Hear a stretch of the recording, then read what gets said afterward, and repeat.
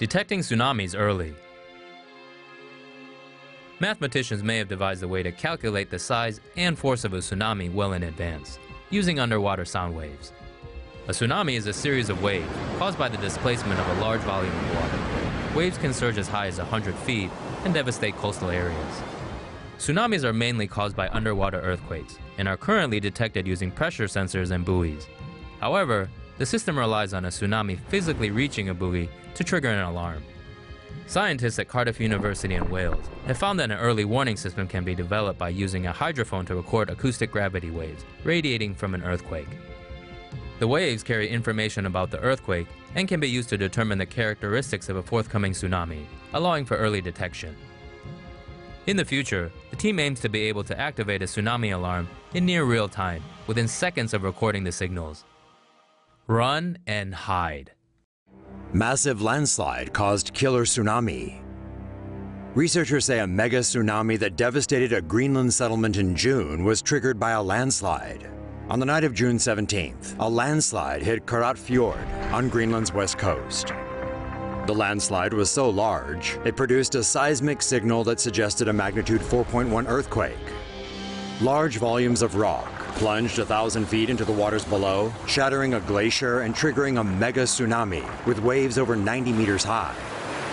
The tsunami devastated a nearby fishing village, washing away 11 houses and leaving at least four people presumed dead.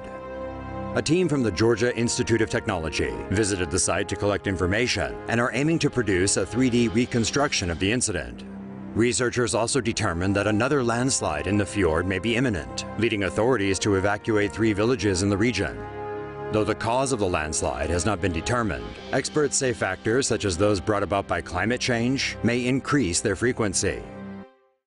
Indonesia tests new tsunami warning system. The Indonesian government is weighing whether it should give funding to a new tsunami warning system after realizing that, whoops, the old one doesn't work. Scientists have successfully tested a prototype tsunami warning system off the west coast of Sumatra that doesn't require transmitter buoys.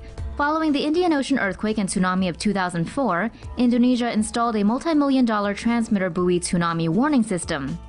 However, after an earthquake in March last year, the government realized the system was useless because all the buoys had either been vandalized by boat crews or poorly maintained. In the new system, data travels through sound waves transmitted by undersea seismometers and pressure sensors. Transmitter buoys are not needed because the sound waves are refracted back into the ocean by warm surface waters to the next node in the network, a distance of up to 30 kilometers. The system requires a few kilometers of fiber optic cable at its endpoint to connect it to a shore station. The data would then be transmitted by satellite to provide tsunami warnings. The government is now considering if it's worth spending just over 100,000 US dollars to lay the fiber optic cable. But opinion is divided in Indonesia. Some officials say an earthquake is the only tsunami warning needed, and when a quake hits, it's time to run for higher ground. But others fear a crying wolf effect and worry that too many false tsunami alarms could make people blase about the prospect of another devastating giant wave. Giant sound waves could subdue tsunamis. The devastating impact of tsunamis could be reduced in the future thanks to the power of sound. According to an applied mathematician's theory, giant sound waves known as acoustic gravity waves could be used to lessen the force of a tsunami before it hits land. The theory states that two acoustic gravity waves would be released from a mitigation station in the ocean toward the tsunami. The acoustic gravity waves would exchange energy with the tsunami, spreading it out and reducing its maximum height. According to the theory, acoustic gravity waves could have reduced the height of the 2004 Indian Ocean tsunami by 5 meters, which may have saved lives and protected property.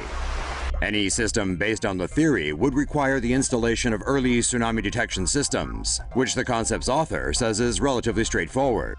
However, scientists have not yet worked out how to create acoustic gravity waves, and this presents a challenging engineering problem.